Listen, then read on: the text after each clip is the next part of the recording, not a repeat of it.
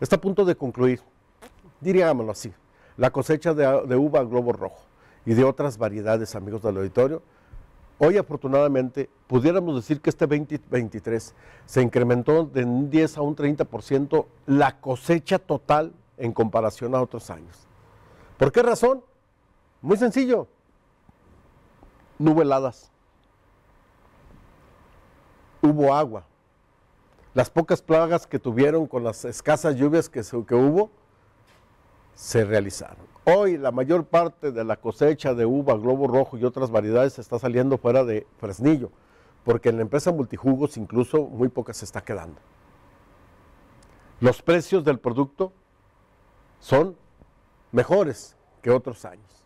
Es decir, este año yo creo que la uva, y te lo puedo asegurar, por encima del chile, va a ser el producto más rentable. Estuve con don Pablo González, quien es el presidente de la Unión Vitícola de Fresnillo, y esto fue lo que nos comentó con respecto a la cosecha de este año.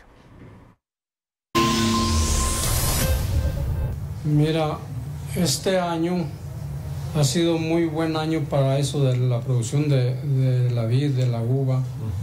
Estamos, la mayoría de los productores están muy contentos porque este año este, está rindiendo mucho.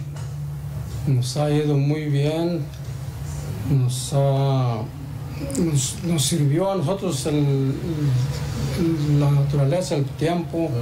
No ha llovido, creímos que nos iba a ir muy mal y nos está yendo mucho mejor que años atrás.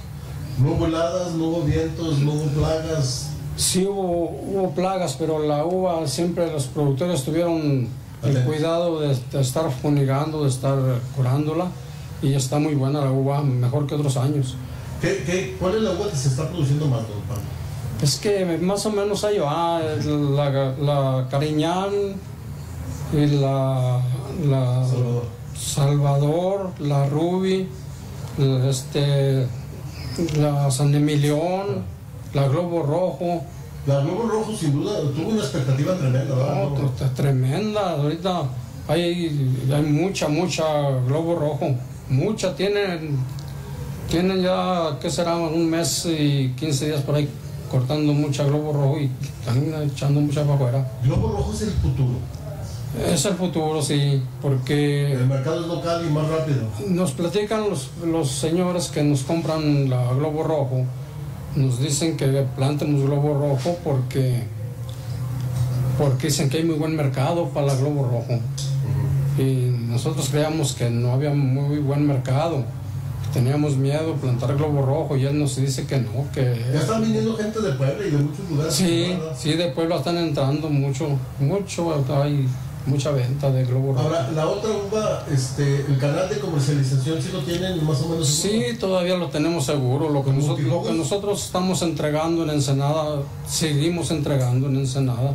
Aquí en Multijugos, ¿no? Aquí en Multijugos sí, también se entrega. Son muchos los productores que entregan aquí en Multijugos. Son muchos productores que entregan aquí. ¿Y el precio de un paro? pues los precios allá nos siguen pagando igual a 7.50. Es buen precio, ¿no? Es muy buen precio, sí. ¿Y aquí cómo lo están pagando? No te sabría decir a cómo le están pagando, todavía ahorita no, no sabemos. Aquí, aquí es por grados, Grado se- por grado BRICS, sí. según los grados BRICS que traigas, pues es lo que te pagan. Pero no, no sé exactamente De, cómo. de los, de los productores de con ustedes de la asociación, ¿están entregando aquí también? No, bueno, sí. Algunos productores que no entregan aquí, entregan ahí y, y vienen y se ponen la mano aquí con un 2% que les cobramos para que sigan siendo socios de la organización. Claro. Lo más importante es que haya comercialización, ¿verdad? ¿Verdad? Sí, sí hay. Sí hay mucha comercialización. comercialización. Porque el año pasado y el antepasado tuvieron Tuvo, problemas. tuvo flojo, sí, y había mucha plaga en las uvas. Estaban muy emplagadas porque, pues decíamos que por porque no llovía, algo así. Y se emplagaron mucho.